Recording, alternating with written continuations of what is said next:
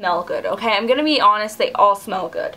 Except for maybe the primer potion. But you know what? Everything else smells hey guys, good. so today I'm going to be doing the 10 products I would repurchase tag. And this has been going around for a while now. I Instagrammed out a picture of me and then under it I said what video should I do? The 10 products I would, brain fart, 10 products I would repurchase tag or the no makeup tag. So if you're not watch if you're not following my Instagram, it's just Ray Ray's Makeup, so, you know, type in that and then press follow me, because that's always cool. I am, have no makeup, what am I going to go out and purchase? And I didn't include mascara because it's hard for me to pick a mascara. I change mascaras after I use them up. I never really repurchased mascara, so I figured I would not include one. Skincare, I picked the Neutrogena Oil-Free makeup remover and it's the one Miranda Cosgrove used to advertise. I have acne when I use this except I do now because we all have those days where we forget to wash your face and then you break out the day after. That's what I'm having right now. But overall it is a really good cleanser. You can mix it with like an exfoliator so it's exfoliating. I take a scrub and put half of this and half of scrub and then scrub on my face. So I exfoliate and get my face washed with this. I picked a make room makeup remover and they are the makeup remover cleansing towelettes by Neutrogena. They have 21 pre-moistened towelettes and I love the sound of this. I don't know, I love that sound. I think it is the sound of makeup. When I think of makeup and I think of a sound, I think of the sound of crunching makeup remover wipes. That just sounded really weird. And they remove your makeup. The only thing is if you're in a rush, they're not going to remove your waterproof mascara. You kind of have to work with it to remove your waterproof mascara. So after volleyball, I'm just like, boom, get it all off, and then it doesn't remove the mascara. But overall, it is a really good makeup remover, and I would definitely repurchase this. Then is the Moroccan Oil medium to light for fine and color treated hair. I don't have any of that. My hairstylist just gave me this one. I'm really running low on this. I'm like up to there. It is a little pricey, I know, but it does wonders for my hair. I forgot to put it in last night because, like I said, I was in a rush and my hair's all knotty and curly and frizzy. So this really does wonders for my hair. The only thing is the pump is broken so I have to like twist it a few times to get product out. And this is random but it's really moisturizing for like your hands because after you use it all of excess so I'll like put it on my hands.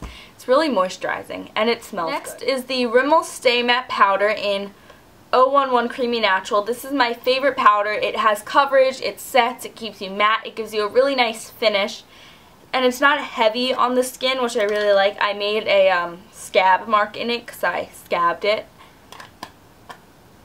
It smells good too, that's random, but it doesn't smell like pressed powder. It smells like flowers or something. And it's really inexpensive at your drugstore for like 5 or $6, whereas the MAC one's $28 and this one's just a whole lot better face product I would include is the Garnier Skin Renew BB Cream. I love this thing. I am almost, no, I'm almost halfway done with it, which is really good for a face product for me. I recommended this to so many people. My friends Quinn and Annie got it, so shout out to you guys. My mom got it, my friend Sam got it, my friend Kelsey is getting it. Everyone I've recommended this to really likes it. I like it. It just does wonders for your skin. It gives you a nice finish. It doesn't pale you out. It only comes in two colors though. And the first one I have is light medium and they also have a medium dark one. I'm definitely light medium because this fits me perfectly. It kind of adjusts to your skin tone though I've noticed. I mean it doesn't claim to do that but it's not really, it doesn't, it's hard to explain. It pretty much adjusts to any light medium skin tone unless you are the fairest of the fair. Concealer I would repurchase is the Maybelline Dream Lumi Concealer. I used to hate this concealer and now it is my favorite concealer ever. I have two shades. One is in Radiant and the other is in Buff. These were given to me for free by a Maybelline representative but I seriously I can't even tell you my love for these because you don't even need to blend them in. You wipe it under your eye and then you start touching it and it goes straight in. It's it's amazing and has that awkward hair tip applicator. Like, I don't even know. It's just so amazing. And I wouldn't claim it to be like highlighting. Like I wouldn't use it for highlighting. But it does brighten really well. It does increase because my benefit, benefit erase paste, I love that thing. But it creases like crazy. This doesn't do it at all. It's So amazing. For primer, I picked the Urban Decay Primer Potion. This thing is my baby. I love it. I usually use it with a MAC paint pot. This one is not colored, so it doesn't really hide my veins in my eyes that annoy me. But it does keep my eyeshadow on all day, even in the summer, and I have gym first period, so after even after running, my eyeshadow is still on. It hasn't creased, hasn't faded, or anything, which is amazing. I use this with drugstore eyeshadows from all the way from like CoverGirl to Urban Decay to MAC. It works for any eyeshadow. It's the perfect base, and it's uber fantastic. The Oh my gosh, the annoying dog across the street is so annoying. The eyeshadow palette I picked is the Urban Decay Naked palette because really who hasn't picked this eyeshadow palette to include and it just fell. Holy mackerel. I like this better than the second one because this one I think is more versatile. The second one is pretty much all neutrals except for that one random matte black. These I think are more pigmented. They just show up better on my skin. I like warm toned eyeshadows on my skin better. I don't know why.